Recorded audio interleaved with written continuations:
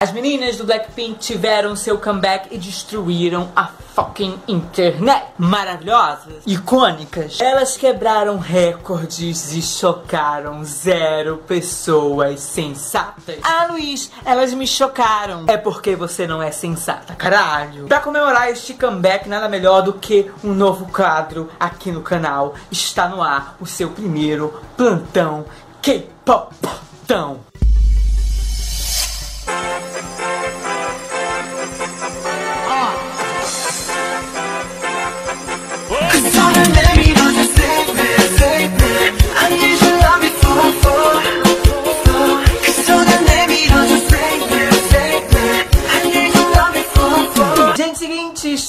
O primeiro plantão K-Popotão aqui no canal, que basicamente é para falar dos meus idols, dos meus ídolos aqui de K-Pop. Uh, vocês sabem que uh, eu sou novo, né? Quer dizer, eu já estou aí há uns dois anos falando que sou novo nisso. Mas uh, eu amo o BTS e amo as meninas do Blackpink. Estou aberto aí a, a novos, né?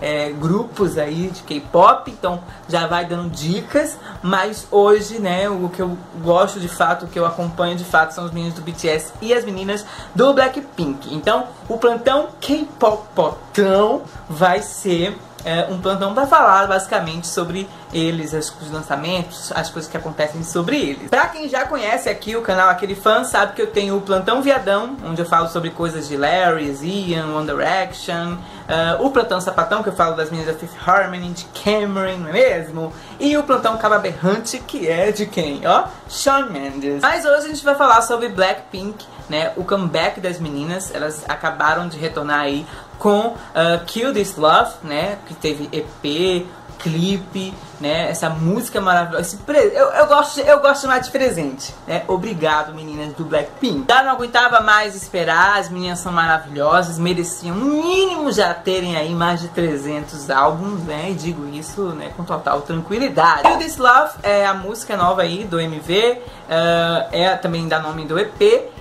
e é uma música que basicamente retrata aí relacionamentos abusivos ou tóxicos Uh, mas está aberto aí também para várias interpretações. Logo no começo elas falam: Sou escrava das minhas emoções, que se dane este amor sem coração. No meu entender, basicamente isso, né, mostra aí uma pessoa que está no relacionamento, presa em um relacionamento, sem saber direito como sair da situação. Noutra parte da música elas falam: Olhe para mim, olhe para você, veja quem está sentindo mais dor. Ou seja, uma relação tóxica para ambas as partes, né? Mesmo que exista um abusador, né, e uma pessoa que está sendo abusada, é algo tóxico para as duas partes, né? Óbvio que quem está sendo né, abusado é bem pior, mas é, é tudo ruim para todo mundo. Tem uma parte bem forte que elas falam assim: O que devo fazer? Não consigo suportar ser tão fraca enquanto me obrigo a cobrir meus olhos. Preciso dar um fim neste amor. Ou seja, trazendo isso, né, para uma realidade assim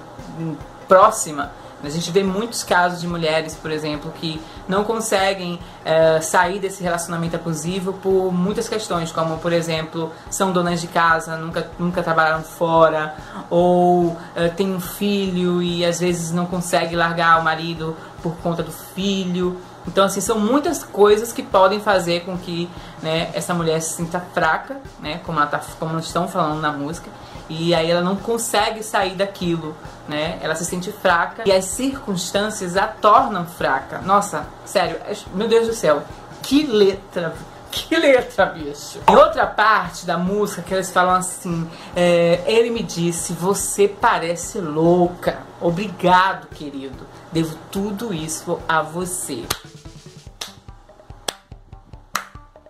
Essa é uma parte que mais, né, mostra de fato que essa é uma canção para um relacionamento abusivo.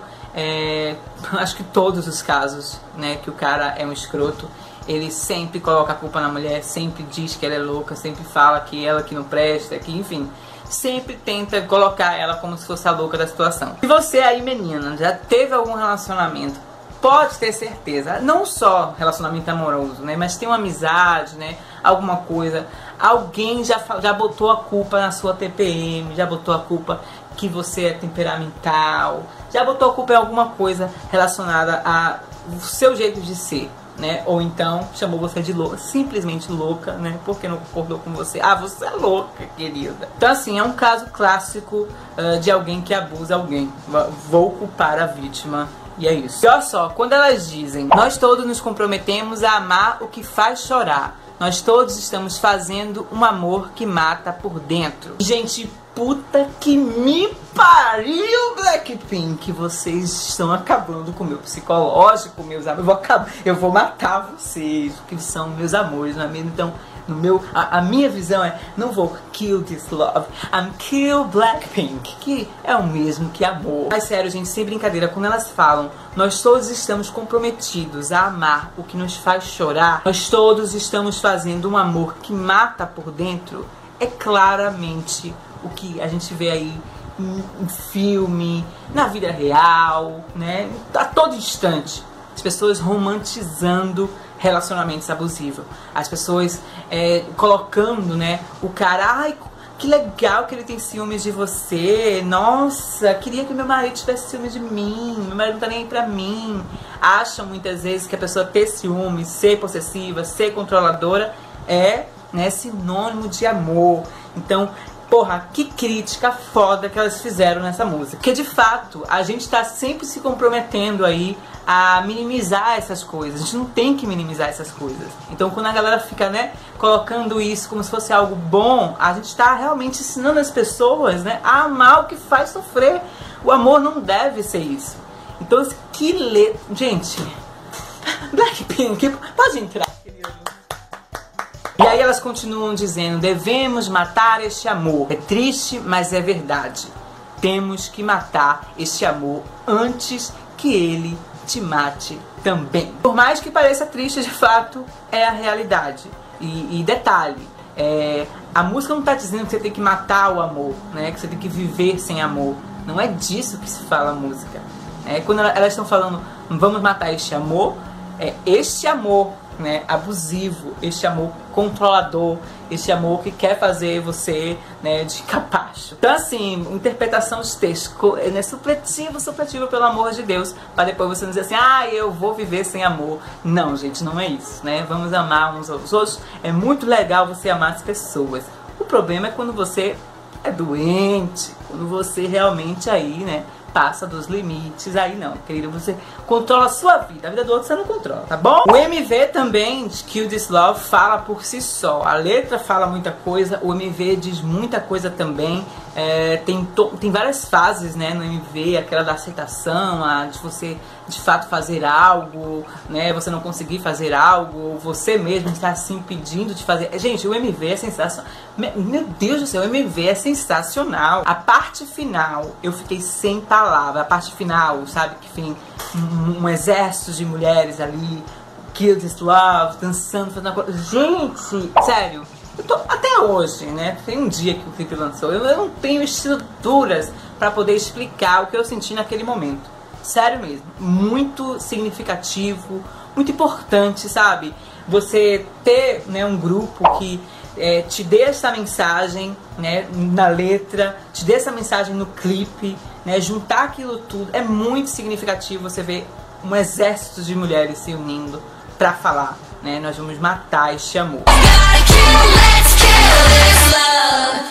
Sem falar, além de tudo, gente, porque, porra, Blackpink é, é conceito, Blackpink é talento, né? São músicas aí maravilhosas, mas também é beleza, porque além de. Gente, meu Deus do céu! Além de tudo, elas são lindas. São lindas e estão lindas no clipe, que é sensacional. Gente, a, a Lisa ali com com a Jenny. Meu Deus, quando apareceu, eu pulei da cadeira. Eu falei, Jesus me leva, que esta é a última imagem que eu quero ver antes de morrer, pai. Como não é só de conceito, talento e beleza que vive Blackpink, ela também, né? Elas também conseguiram aí bater alguns recordes. Como, por exemplo, o MV de K-pop mais visto em 4 horas. Uh, do YouTube estão aí dividindo né, o, o, os três primeiros lugares. Elas BTS e elas novamente, meu amor. Tá aí, primeiro lugar Blackpink, segundo BTS, terceiro Blackpink de novo, né? E em clipes, né, mais vistos do YouTube, né, no geral, elas ficaram em terceiro lugar. No pódio tá Ariana Grande, Taylor Swift e Blackpink. Rainhas, donas da indústria. Ai, Blackpink, está doendo Blackpink. As costas de você carregando, gente. A indústria musical nas costas. O EP das meninas também está aí em mais de 37 países. Em primeiro lugar no iTunes. Uh, já entrou também no, nos mais ouvidos, né? Do mundo em Spotify. E no Brasil também. Ó. Ai, cheirinho, sabe de quê? Cheirinho de sucesso. Cheirinho de sucesso.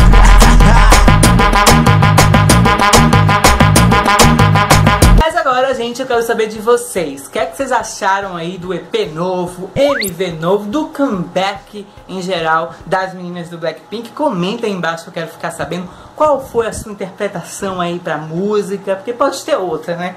Que foi só a minha. Comenta aí embaixo, eu quero ficar sabendo. A gente se vê no próximo vídeo. Então é isso. Falou! Já vou!